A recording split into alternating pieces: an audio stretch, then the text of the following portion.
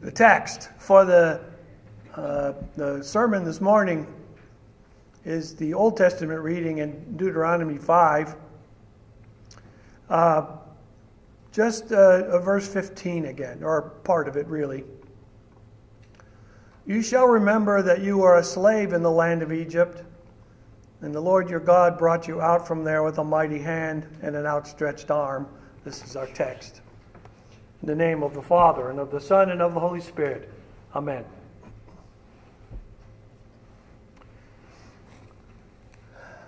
Almost hate to recall this for you, but some years ago, uh, you were encouraged, politically speaking, to uh, support health care for everybody, universal health care. And, uh, and, and I, you know, I remember um, being encouraged by other Christian people to think of that charitably. And you know whether you liked it or didn't like it doesn't really matter. But I, what i was thinking at the time and it made me think about it again today is whether it's really charity if it's law if it's taxed if it's penalized if you don't do it if it's mandatory is it really charity if like that? It's, you know and, and uh, made me think of that when i see this commandment in place, uh, we'll see if I can make that uh, be sensible for you. So we're looking at one of the Ten Commandments here. Uh, the, the one that sets the Sabbath rest in place for the Hebrew people. Uh, this is the second time they've heard it. I, I, don't know if you realize that or not, but uh, they, uh, they, they stand at the edge of the Jordan River about to enter into uh, Canaan, the, the land that God promised Abraham a long, long time before. And so uh, they heard it the first time when they stood at Mount Sinai. Uh, and uh, God Almighty uh, sent the, the commandments, the covenant, down the mountain with Moses. And they heard it there the first time, and here again. So they stand at the edge of the Jordan River, and they're about to enter. Finally, after all these years, it's been 40 years since they were at Sinai. Uh, and so Moses uh, brings out the form of this covenant with God again.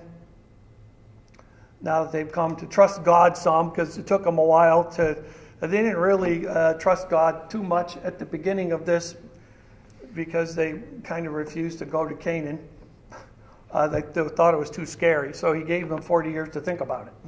So now, theoretically, they trust God's promises a little better and, uh, and now ready to go in, and they're going to come across the Jordan River to do that. So they heard the, uh, the covenant of Moses again. So now that you've heard it again, because this is not your first time hearing it either, I ask how you're doing on this. Uh, we all have had reasons for skipping church on occasion. I think you will admit that that's so. Most of the time, I would suppose you thought it was important enough to do that. Uh, the question is, is that okay? Um, is it okay when you have on other days uh, that this commandment directs for you to pay attention to if you went to work? Because it says don't work. Uh, can you tell if uh, that kind of work counts? And because, you know, apparently some kind of work does and some kind of work doesn't, uh, according to their traditions at the time, and that's very confusing. Uh, Luther even discussed this commandment when he said, you know, if, you're, if you even just despise the word of God, the, the scriptures, if you, if you take them lightly, if you pay, don't, has anybody here ever kind of not heard the sermon? I mean, I, yeah, I know. Uh, this, this is just the way human beings are. We have trouble. So, what about yard work or feeding the kids or changing a diaper or, or getting someone else to do stuff for you on a Sabbath day? Uh, does that count? Can you even really know, uh, even guess how often you've blown this one uh, on the, uh, the many uh, Ten Commandments that this, you know, maybe sky high blown in front of God. I, I, I would be betting if you're like me, you probably don't have a good handle on how many times you've blown that. Now, the people that heard this from Moses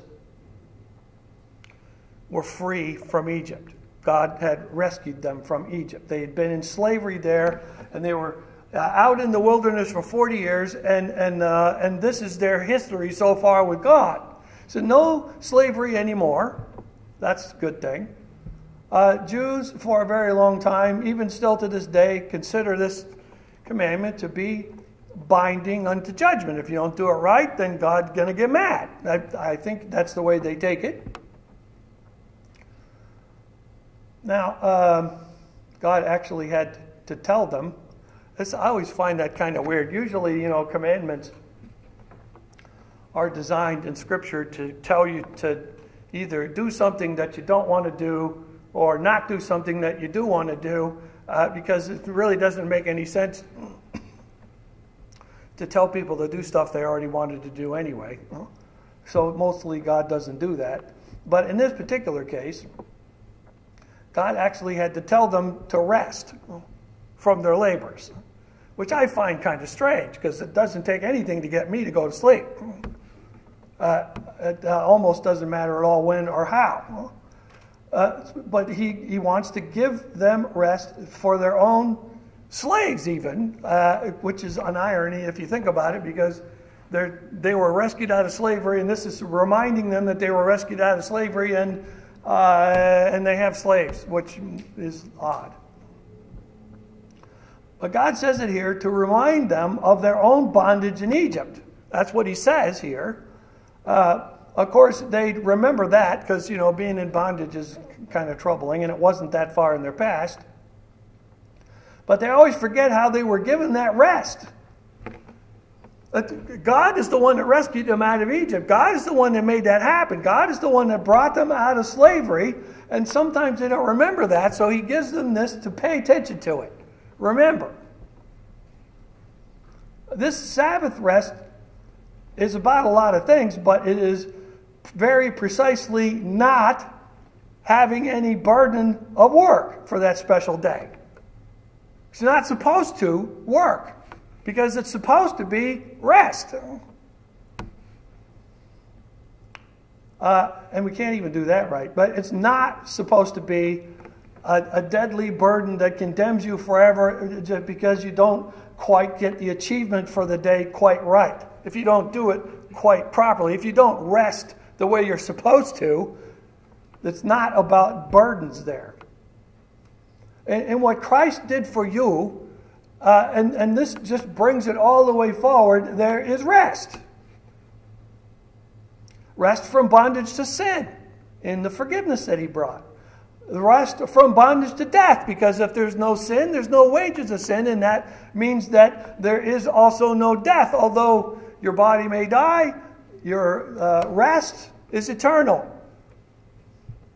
Christ has provided you a time when you will be with Him temporarily, in spirit only, and then one of these days, when Jesus returns, uh, as we spoke of in the creed that we, we laid out a bit ago, then you will be raised, made whole, made completely human, and that's your eternity. Death would be no more. No more bondage of any sort, all of which is fulfilled for your eternal rest in the blood and the death sacrifice of Jesus, the Son of the living God. This is not just for a weekly day of rest, but for you, it is an eternity of release. It is an eternity of freedom from what holds every human being. Again, I say, sin is completely gone for you. Death is entirely overcome. Accusation of any sort is utterly impossible because Christ has declared you free. He has said you're, you're no longer concerned with your sin, even though, you know, he says pay attention to that, but it is not binding unto death anymore. So we're free to live in Christ, free to live in grace, free to live in holiness, free to live even in service to your God because you want to. Free. A gift of God. There lies your rest.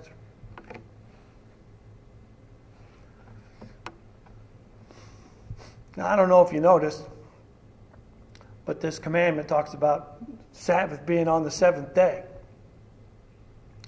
And here we sit on the first day of the week, which, you know, might seem a little peculiar. Uh, you're sort of celebrating your Sabbath on a different day rather than what the commandment says.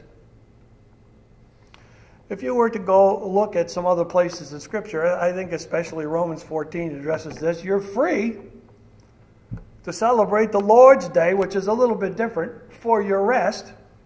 The Lord's Day being the day of the celebration of resurrection, which has become the customary celebration of Gentiles. The Jews still hold to the Sabbath day because it was commanded for them and it's part of their tradition, but it is not part of ours.